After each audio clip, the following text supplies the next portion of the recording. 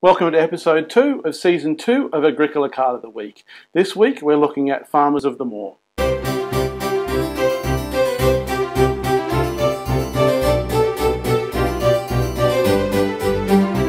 Proudly sponsored by Yeoman. Available in the App Store now. Up until now I haven't mentioned Farmers of the Moor very much, but we almost always play with Farmers of the Moor. I think it rounds out the game, it balances the game, and it makes for a much better experience.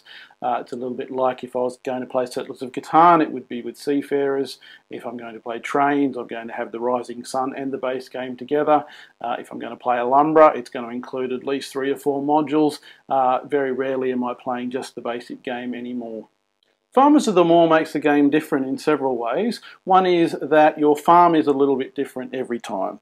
You uh, start out with one of these Moor cards, which is going to show how your farm is laid out, and you're going to have areas of peat bogs and forests that you're going to have to clear out the way in order to build your farm. So it gets rid of that sort of tyranny of just looking at the very same open board every single time you play. It adds some variety from the very first turn.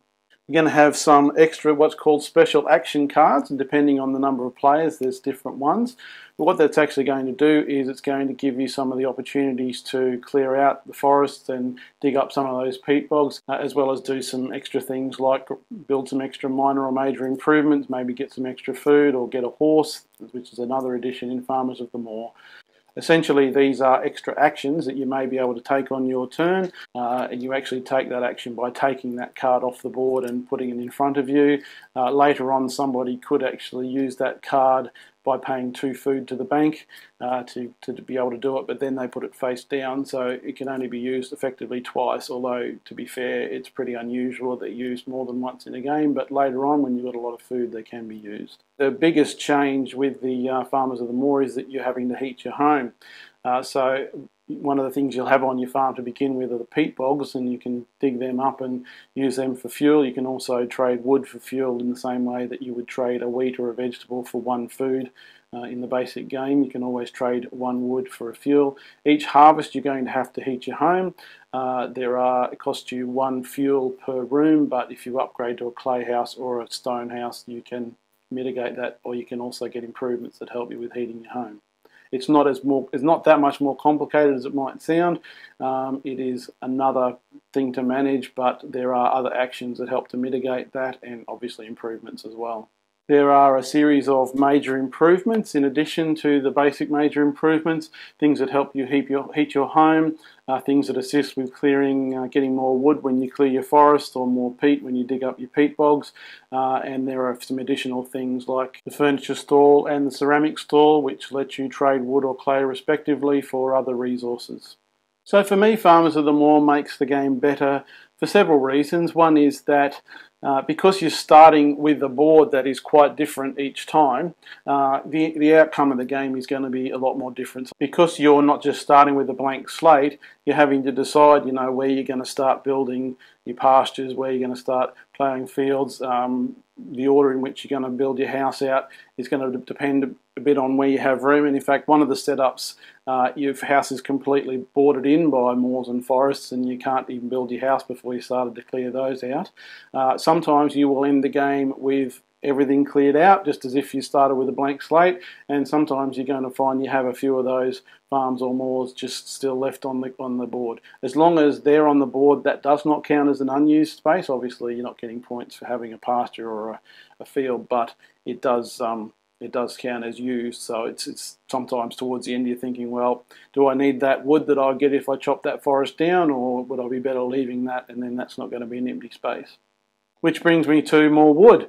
Um, the uh, you have bits of forest on your farm and you get to chop those down and ordinarily you get two bits of wood for each of those. You do that by using these extra special action cards.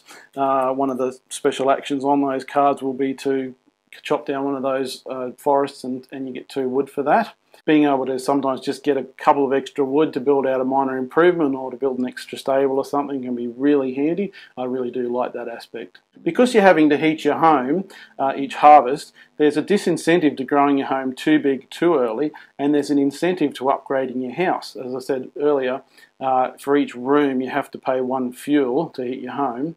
If you have a clay house, you subtract one from the total number of uh, fuel you need, and if you have a stone house, you subtract two. Uh, it is possible to have a two-room stone house, therefore that you do not have to heat it at all, and that's not a usual thing, but I have played that strategy a few times where I've been able to do family growth other ways and, uh, and just have a house that I didn't have to heat at all. Growing your family with Farmers of the Moor is much more measured. It's much more, okay, do I really want to be building out my house now when the harvest's coming, I'm going to have to heat that home without the benefit of the extra worker. Uh, you sort of really only want to build your house out when you're going to then be able to put a person in that room. Uh, it gives you an incentive to upgrade your house. So really upgrading to a clay house pretty early on. It's not unusual in our games to have a, have a three-room house upgraded to clay or even upgraded to stone. Um, we tend to get towards the end of the game more with three or four room houses than with five, which you might do if that wasn't such a concern. The game just is a little bit more measured in how you grow your family, and I actually do like that a lot. The way these action cards work are quite interesting, and I think they help to mitigate uh, turn order a little bit, and that's another reason why I think Farmers of the Moor is better. So when the first player is starting the new round, they're going to be thinking, well, if I grab a one of those cards, that's an extra action for this turn. But uh, if I don't get my occupation or whatever it is I'm trying to do, then other people are going to grab that spot. And I think it means that people that are further down the turn order are more likely to have open space on the board to do those sorts of things, like get, a, get an occupation out early. Where if you've ever been second or third player in a game and you're in the third or fourth round and you've just not been able to get an occupation out, uh, I think you might find that these cards do help mitigate that a bit. And finally, we have a new type of animal, the horses. Uh, these are you know, not really all that good for food, but they are worth one point each and they do breed just like other animals. Uh, you can turn them into food. There are improvements that allow you to do that. It's not something that you can normally do with just the normal fireplace, but it can be done. They're not great for food, but that's usually not why you're building horses. Because they're worth a point each and potentially you could get them before the first harvest and breed them every round. You could get quite a lot of points if you wanted to play that strategy and that, that would help to mitigate uh, some of the negative points you might get uh, if you didn't have certain types of animals on your farm, for example. There are some minor improvements and other things which work with horses, require you to have horses or give you bonuses to help you to get horses. Horses are acquired through the special actions. It's one of the special actions you would take. Uh, they may or may not cost you food depending on how many people there are in the game. Um, but it's another way to get points and can provide you with an interesting strategy. If I have one criticism of Farmers of the Moor, it's the cards. Funnily enough, I do like the cards in Agricola, uh, but uh, it's, the, it's the cards that I'm not a big fan of. Uh, we actually even took 10 of them out of the deck permanently because they were either too convoluted or too expensive for the benefit that they gave you. It's not to say that there aren't some good cards, and I will be going through those in a moment, um, but as I said in last episode, uh, we only usually deal out three of these when we're doing a 10 minus 3 draw of cards. Uh, the instructions say to deal out four of these and then three of the other minor improvements. Uh, even when we're doing a 10 minus 3 draw, I still think four cards out of those 10 cards is too many. I think three is plenty, and personally, I would rarely take more than one of those into my hands if I'm going to be discarding three cards out of my 10 card uh, draw. I typically I'm going to be at least two of those are going to be Farmers of the Moor cards. It's not to say there aren't some great cards in there. There's certainly a lot of them. Personally, I would have preferred to have uh, taken a lot more of them out of the deck. I think that the ones that remain would have been better. Uh, but, you know, this is somewhat of a democracy. And uh, uh for my gaming group, we discussed which ones we would take out and we all we, we agreed on 10 of them. So uh, that's, that's improvement better than, better than nothing at all. Uh, as I said, I'm going to go through 10 cards Stone Wagon, a nice simple card. Um, costs you two wood, no prerequisites. Uh, whenever you use the day labour action space, you receive an additional stone. Fairly simple, not even really relevant to the rest of the farmers of the just a nice good card. The spinning mill uh, costs two wood and two clay. You have to have a sheep. Uh, it is worth two points. Uh, for every two sheep you have in the field phase of each harvest, you pay one less fuel to heat your home. So basically you're using sheep to get their wool and uh, not have to spend as much to heat your home. Uh, obviously that is more tied into the whole Farmers of the Moor thing. Um, I really like this card. Whenever I get this I try to get it out as soon as I can.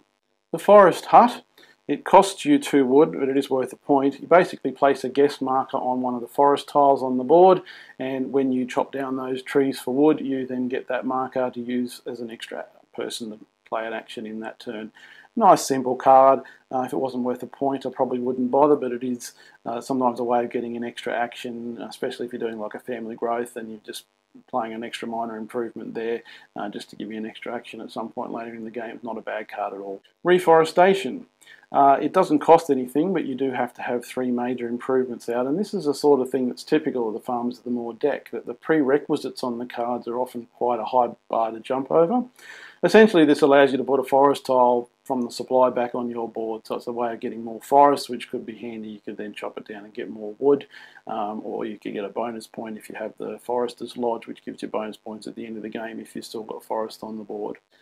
The Willow Bank uh, is basically a way of getting extra reed. Again, you have to have a major improvement before you can play this card, but otherwise it doesn't cost you anything.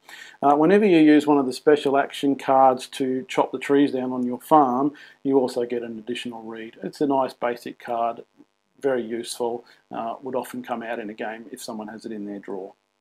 The next two I'm looking at together are the uh, moor enclosures and the farm extension, these are actually additional spaces for your farm. Um, so potentially you could have an extra four spaces to put pasture or to, to plough fields or whatever else. I have had these come up in a drawer. I've never actually managed to get one out. At the end, they are each worth a point, but like any empty space on your farm, if you haven't used that at the end of the game, you're losing points. And I've never been in that position of thinking, yes, I think I can use extra space on my farm and also, uh, you know, not lose points at the end because I'm going to make sure I make use of them. Still, an interesting addition. I like having them in the deck, even if I've never actually played them or seen them played in a game. The Homewood, uh, this allows you to keep any one animal on any forest space. Uh, doesn't cost you anything, but you have to have played three improvements. Again, this is a bar to sort of jump over. Um, the, I've used this to do horses, so I've actually used this to get horses on the go before the first harvest um, because it specifically says no sheep. So, and I think that balances it out a little bit because if you could just get sheep before the first harvest and start breeding those sheep without having to build any fences, it would be kind of quite unfair. But there's nothing to stop you from getting horses and start to breed them. And if you can get a couple of horses before the first harvest and breed them in, you get one. That's one point. And if you can do that every time through the game, obviously you're going to have to build more space out for them. But you know, you can start generating points early on in the game if you want to do that strategy, or if you've got some other improvement or that, that requires you to have horses. The family burial plot is uh, basically comes with a little token that you put on the board. Uh, I have used it once. Uh, it costs you a stone, and you have to have a stone house. Um, but basically, you're putting a little memorial uh, crypt on your farm. Um, it counts as used and it's worth an additional bonus point at the end of the game. I don't know why they didn't just say put two points on the card because really it's worth two points. Um, but nonetheless, it's two points. It's one space that's not empty. So you're getting towards the end of the game and you're thinking, you know, I'm trying to make sure I don't have any empty spaces to get those negative points. It's a, it's a nice, easy way. And finally, the advanced payment. Uh, I've used this a few times. It's minus four points but you get a fuel, a food, a wood, a clay, a reed, a stone, a sheep, and a grain. Um, obviously, getting that out really early, getting grain, be able to get that on the go, getting that extra sheep that you might need to form a breeding pair. It's a little bit like the collector that I discussed in the very first episode. You're trading points now for resources. I believe that you're almost always going to make up those four points. Other than the fuel, it's a card that could be used in any game and uh, a nice basic simple card that I really like. So I'd just like to finish off with some tips for uh, helping with Farmers of the Moor, how we play. There's something that might just be some little tips and tricks for your game. Uh, one thing we do is when we do a forest uh, fell trees or a um, cut peat, which is the action where you take the peat off and turn it into fuel, uh, we just take the tile off the board and then that tile is treated as either two wood or two peat respectively. Uh, we were doing this uh, before we got some extra wood tokens especially we were finding that we were often actually running out of wood, wood tokens um, especially with like felling trees and you know that's two wood. You can you can run out of the, the 20 something odd wood tokens that come with the basic game. Um, so rather than doing that back and forth every time someone fells trees or cut peat we just basically take that put it with our other resources and it counts as a two token Another thing we do is we keep all the major improvements all together in an ordered stack. With Farmers of the Moor, you have one new major improvement for each major improvement that's in the base game, plus a couple of extra that sit on, onto the side. So under the fireplace, there's a slaughterhouse. Under the cooking hearth, there's a cookhouse, etc. We just keep them all in order like that, so that when we're setting up a game, we just lay them out. Uh, and then when we pack up, obviously that's done in reverse order. Uh, even if we are playing just the base game, we still just set them out, and everyone's under the understanding that uh, they're only buying the top improvements. The other ones aren't really there, but we just always keep our game set up that way. The expansion also comes with two decks of minor improvements, but no occupations. Uh, there's an E deck and an F deck for the minor improvements. Uh, on the back of the cards, it's a different uh, graphic than the ones that come with the expansions and, and, the base game for the minor improvements. For our game, we just decided to shuffle them all in together after playing a few times. There's not really a huge amount of difference, and if you're up to the point of playing Farmers of the Moor expansion anyway, you're after a more advanced game, I think, than just the basic game. Uh, although it's not really that much harder, but I do think that you know you're at the point where you're deciding which cards are worthwhile and which ones are going to fit into a strategy. So we may as well just make it easy on us and shuffle them all in, so we really only have one Farmers of the Moor deck. There are a few different variations in what they call difficulty levels mentioned in the rules. Uh, I'm going to keep it really simple and say that there's really only two options there that you should be using. One is a really basic family game. If you want to play the family game and add farmers the Moor, you can certainly do that. You have no minor improvements, no occupations, just the major improvements and the actions on the board. You'll have the special action card and you'll start off with your forests and your peat bogs on your farm. Uh, and then the other variation would be just where you play with occupations and minor improvements as you normally would. The only difference is going to be you're going to mix in some of these farmers the moor minor improvements and you're going to have the farmers of the Moor major improvements. Otherwise, everything's as discussed here before. I would disregard completely any of the other variations and either pick the very basic family game or the normal regular full game just with the addition of farmers of the Moor. Proudly sponsored by Yeoman. Available in the App Store now. So thank you for watching this episode.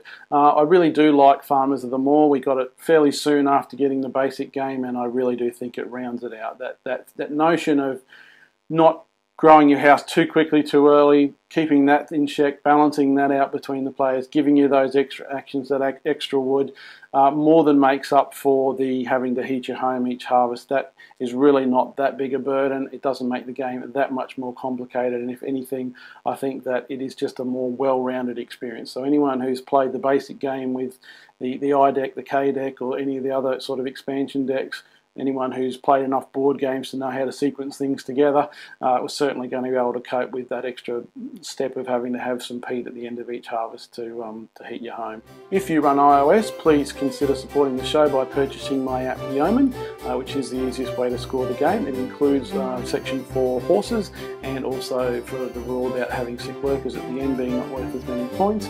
We use it every time we play. Uh, please like or leave a comment below and subscribe to the channel. Thank you. Welcome to Season 2 of Agricola Card of the Week. The World Championship deck strikes a nice balance between sort of utilitarianism and kind of novelty. Proudly sponsored by Yeoman. Available in the App Store now.